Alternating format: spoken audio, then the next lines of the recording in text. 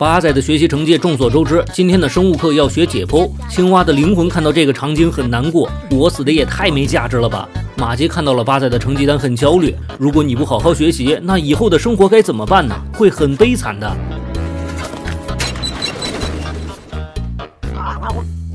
八仔毫不在乎，我以后可以在街头做广告牌表演呀。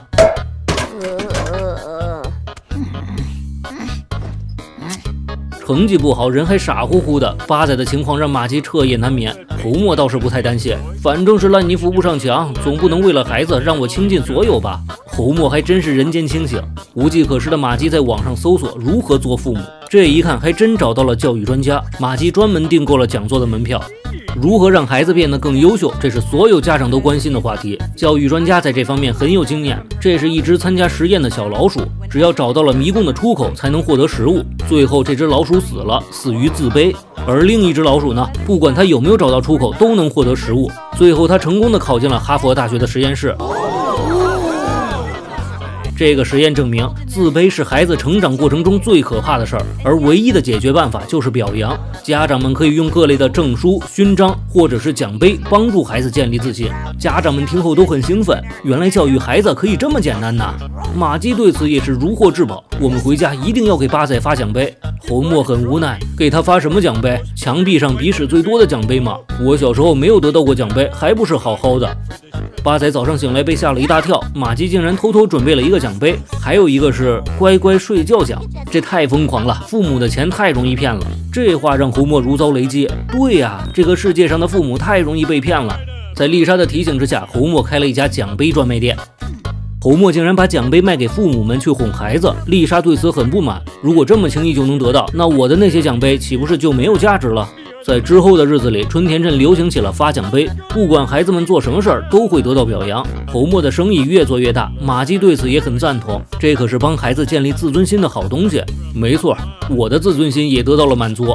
还有，你看，八仔现在也爱上了这个工作。马季觉得应该奖励八仔一个奖杯，可才拿起来就发现奖杯坏了，竟然是用口香糖粘的。侯默很生气，后果很严重。你看到没？八仔这个孩子已经无药可救了。面对现实吧，他就是个废物，是个失败者。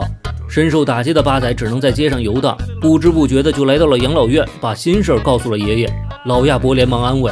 侯默这么做只是在重复我当年做的事情，这可是咱们辛普森家的老传统了，没有哪个孩子能逃过父亲的锁喉功。老亚伯为了鼓励八仔，特意拿出了祖传的怀表，这可是咱们家最珍贵的东西，现在就传给你了。丽莎对于学校随意发的奖杯很不满，尤其是自己第一名为什么是最小的？你是说我们在歧视优秀的人吗？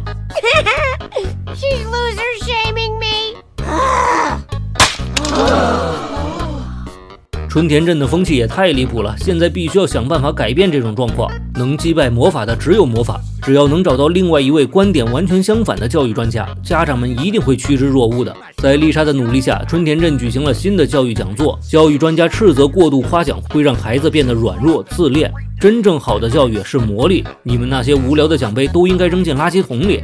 No more trophies! No more trophies! You are scum, sir.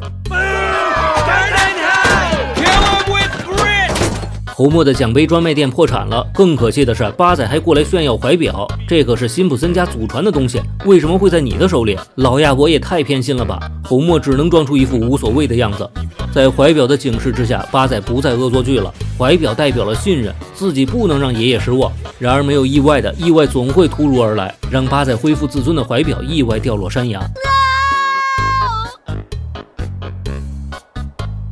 丢了怀表的八仔满心忐忑，好不容易有人信任自己，现在又被搞砸了。然而就在这时，老亚伯打来了电话，最近怀旧杂志正在举办传家宝活动，辛普森家的怀表已经入围了，明天还要接受专访，别忘了带着怀表过来。八仔听后不知如何是好。另一边，侯墨的奖杯只能低价处理掉，当铺老板对此却是毫无兴趣，这些东西都没用，只有通过努力得到的奖杯才是有价值的。就在这时，侯墨发现了橱柜里的怀表，辛普森家祖传的东西必须要。拿回来。